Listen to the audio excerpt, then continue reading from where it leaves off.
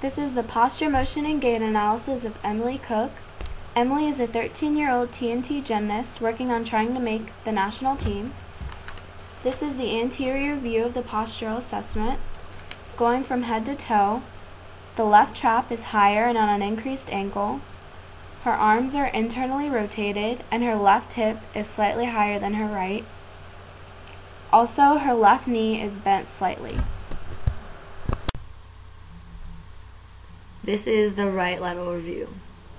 Her head and neck are slightly forward, along with her shoulders being anteriorly rotated. Her spine has a lordotic curve with the appearance of a slight abdominal pooch and an anteriorly tilted pelvis. We also notice that her elbow is not quite in line with her hip. This is the posterior view. Her left shoulder and elbow are higher than the right. Her left hip is also higher, and her whole right side appears to be significantly lower.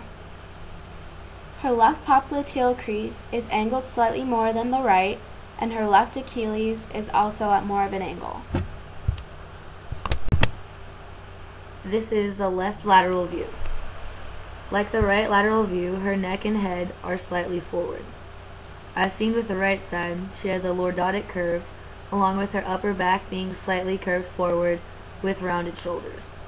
Once again, her elbow is not quite in line with her hip, and her pelvis is anteriorly tilted. This is the motion analysis.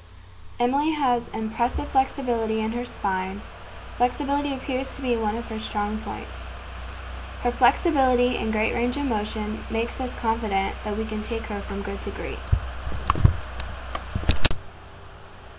During her right and left lateral foot reach, when reaching out with her right foot, she seems to be weaker than when she's reaching with her left foot.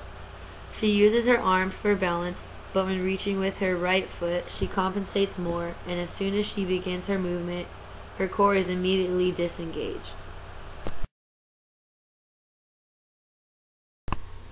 When reaching her left and right feet forward, she has difficulty keeping her balance and locks out both of her knees rather than bending the knee of her grounded foot to reach further.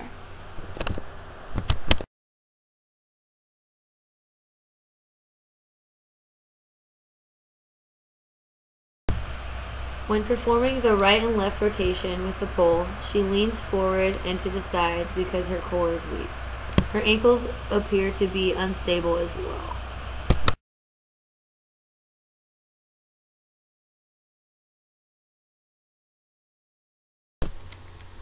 During her right and left one-legged squats, her knees turn inward.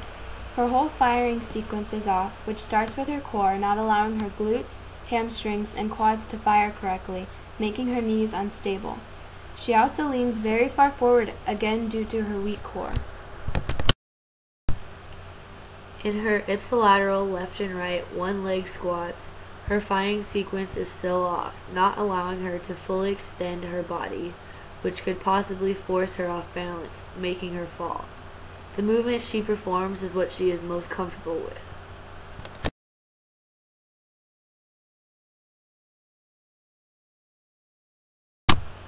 In her seated non-weight bearing stance, her left heel is slightly off the ground and her left Achilles is at more of an angle than the right.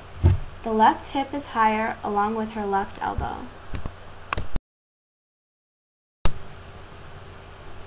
During her barefoot walking gait, she walks anteverted with her knees collapsing inward. Her right arm swings more forward than her left, and her left swings more outward than her right. When walking with shoes on, her anteversion fixes itself somewhat, but not completely. Her knees continue to collapse inward, also.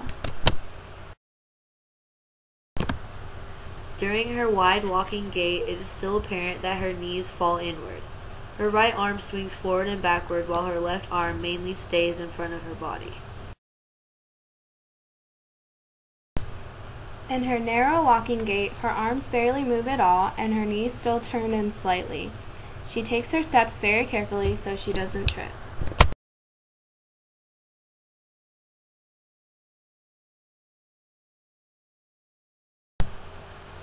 Her scissor gait is very off balance, and she seems to be walking more on the side of her foot.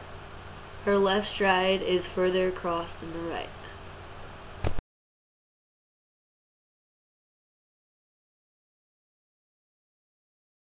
In her long stride gait, her knees greatly collapse when she plants her foot.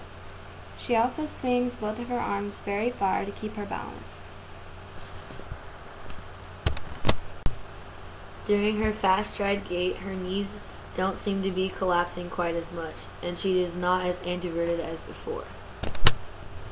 In her jogging gait, she jogs on the balls of her feet and points her toes. Her knees also collapse inward slightly. Her heels never come in contact with the ground, and she balls her fists downward while swinging her arms upward. At 75% of her sprint, her heels still aren't coming in contact with the ground, and her feet have moved into retroversion, with the left more noticeable than the right.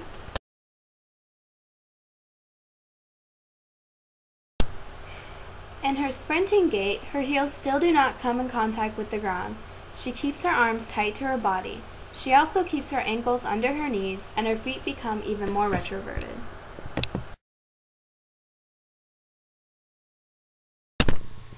While assessing Emily's posture, motion, and gait, we came to the conclusion that her knees collapsing inward was functional because it wasn't present in her posture and it fixed itself when she was running and it even started to go in the other direction. Her anteversion was also functional because it fixed itself in the running gait and she even went into a retroversion. We also found that her rounded shoulders were functional due to her tight pecs. Her weak power pack was also functional. Her lordotic curve is structural, however, we can improve this by strengthening her abdominals. We plan on taking her from good to great with a well structured training program. The training program would include core strengthening through stability ball exercises, such as crunches and push ups with feet on the ball, along with other core exercises like trunk twists with a med ball and planks with leg lifts. We would also strengthen her back and upper body with dumbbell flies, pull ups, lat pull downs, and handstands against the wall. And we would also strengthen her legs with lunges and squats.